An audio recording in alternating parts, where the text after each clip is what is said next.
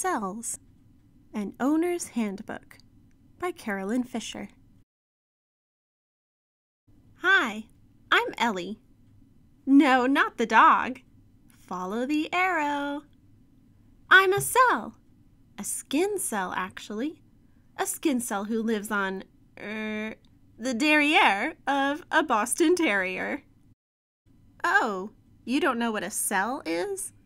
Well, the dictionary says that a cell is the smallest structural and functional unit of an organism, which is typically microscopic and consists of cytoplasm and a nucleus enclosed in a membrane.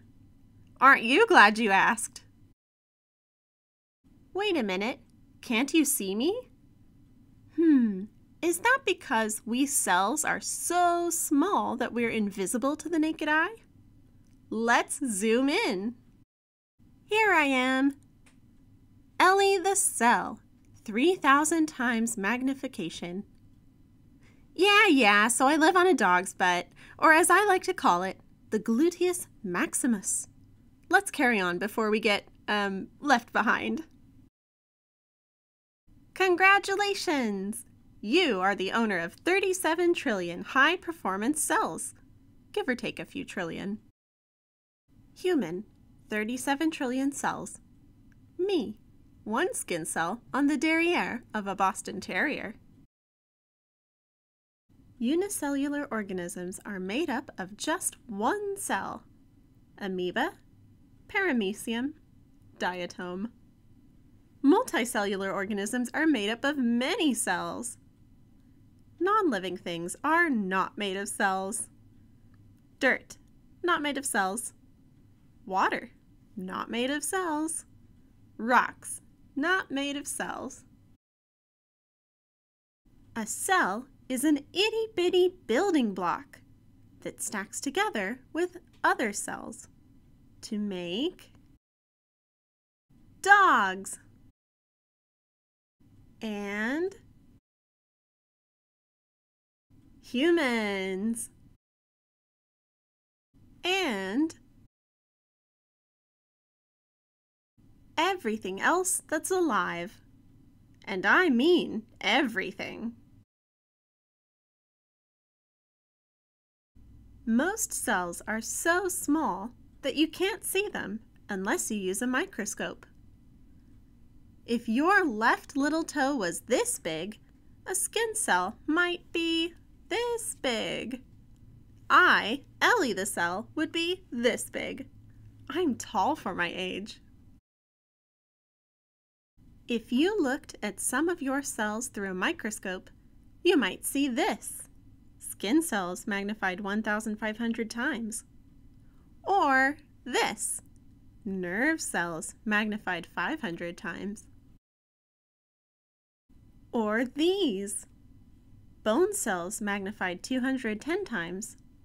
Red blood cells magnified 2,929 times muscle cells magnified 1,200 times, ovum cells magnified 200 times, sperm cells magnified 200 times. Different kinds of cells have different shapes and sizes to help them do different jobs, like making bones, making blood, making muscles, making babies. Zoom in closer, and one of your cells might look like this. Inside each cell, you'll find smaller parts called organelles. Each organelle is a mini factory that does a special job. Nucleus, cell command center, holds instructions called DNA for making copies of cells and building the body. Lysosomes recycle old cell parts, bacteria, and viruses. Mitochondria make energy for the cell. Ribosomes, builders that make protein, which is used to construct cells. Cytosol, the jelly-like stuff that holds the organelles and nucleus.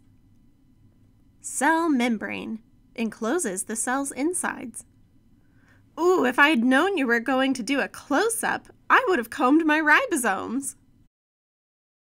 Cells make new cells by copying themselves to grow bodies and to repair bodies.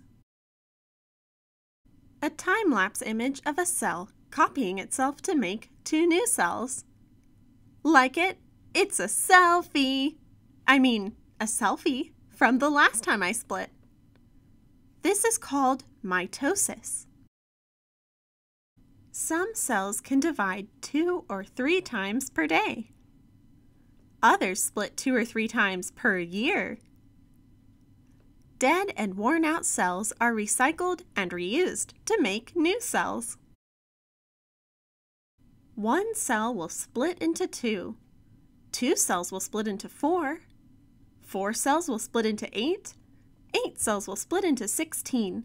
16 cells will split into 32. 32 cells will split into 64. 64 cells will split into 128. 128 cells will split into 256. 256 cells will split into 512. 512 cells will split into 1024, and so on. Until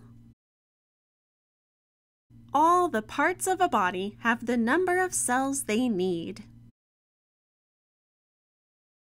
Your cell's mitochondria need food, water, and oxygen to make energy for your body. So eat, drink, and don't forget to breathe. Lifetime Guarantee With proper recycling and replacement, you should have enough cells to last your whole life. Which reminds me, a skin cell divides about every 14 days. So, I got a split. The end. Bye. Bye. Every living thing is made up of different cells just like Ellie. Every part of your body is filled with cells doing special jobs. There are cells that help you move, cells to help you breathe, cells that fight off germs, even cells that help you think. Your cells have been a part of you since before you were born. They've been with you your whole life, but they're so tiny you can't see them without a microscope. Unless we built a model cell big enough to see and touch. But what can we use to build it? How about candy? Wait, stop, don't eat it yet. Remember the mini factories inside the cells called organelles? We'll use different candies to represent each one. The nerds can be ribosomes, where the proteins are made. We'll use a fireball for the nucleus, which is like the cell's library, containing all the DNA information to make copies of cells and build the body. The rainbow belt will be the rough endoplasmic reticulum, it works with the ribosomes to make new proteins and membranes for the cell. And the fruit roll-up can be the smooth endoplasmic reticulum, which forms containers called vesicles to move things around inside the cell. The gummy worms can be the Golgi apparatus, which is like the cell's shipping center. It packs things up to transport around the cell or to leave the cell. The malt balls can be lysosomes, which are vesicle packages that have digestive enzymes. They break down things the cell doesn't need, and they kill bacteria that invades the body.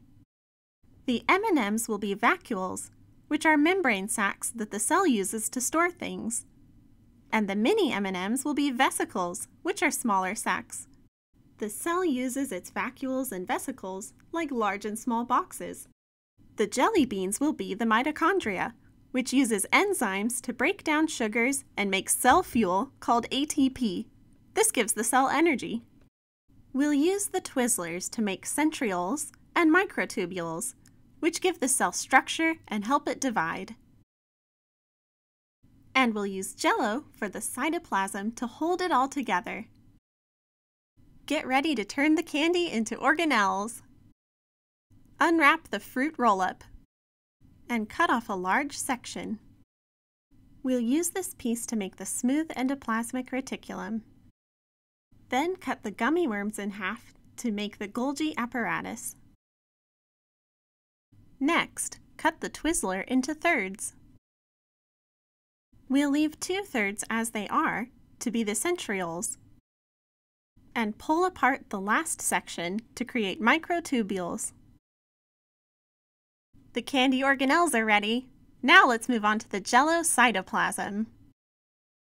Grab a heat-safe bowl and spoon, a heat-safe measuring cup, and have a grown-up help you boil water. For each packet of jello, add one and a quarter cups of water. Stir the water as you pour in the jello to help it dissolve. At first, you'll be able to see little pieces of gelatin coating the back of the spoon. But just keep stirring the mixture for a few minutes. You'll know it's fully dissolved when you can't see any more particles of jello on the back of the spoon. When the mixture is fully dissolved, pour the jello into the bowl.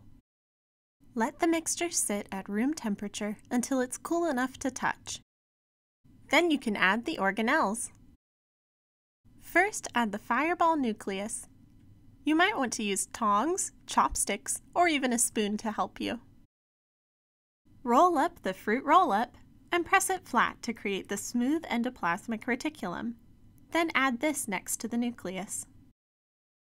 Get the sour rainbow belt ready. Bunch it together to create the rough endoplasmic reticulum, and add that on the other side of the nucleus. Add a spoonful of NERD ribosomes to the rough endoplasmic reticulum. In a real cell, you can see the ribosomes spotting the rough endoplasmic reticulum, but the smooth endoplasmic reticulum has none.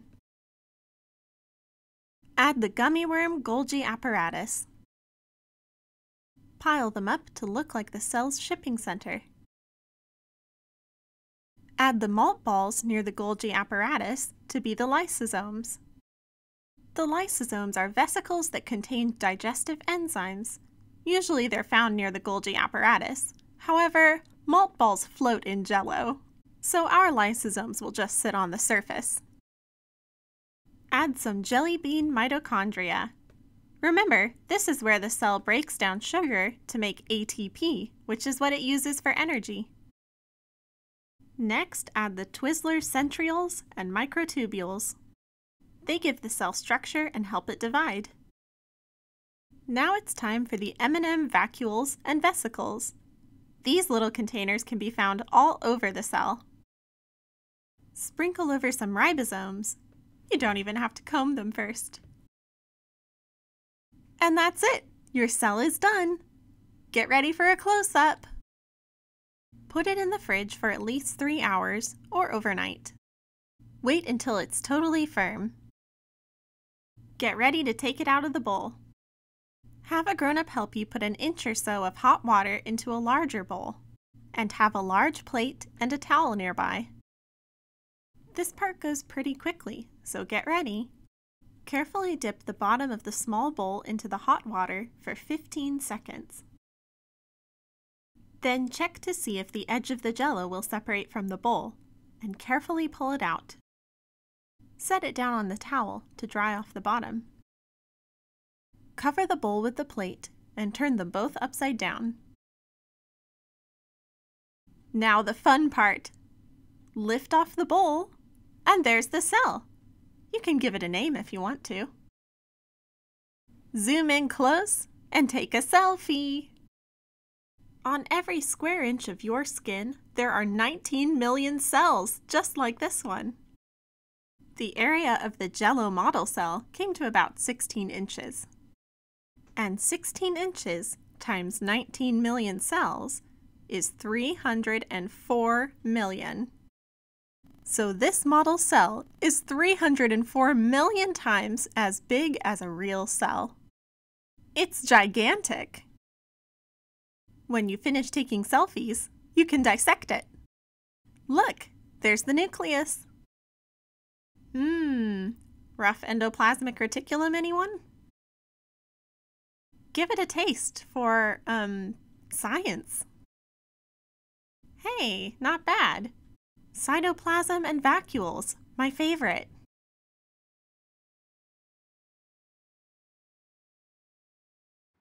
For more information about receiving STEAM kits in the mail, visit the Kids and Families page at coosbaylibrary.org.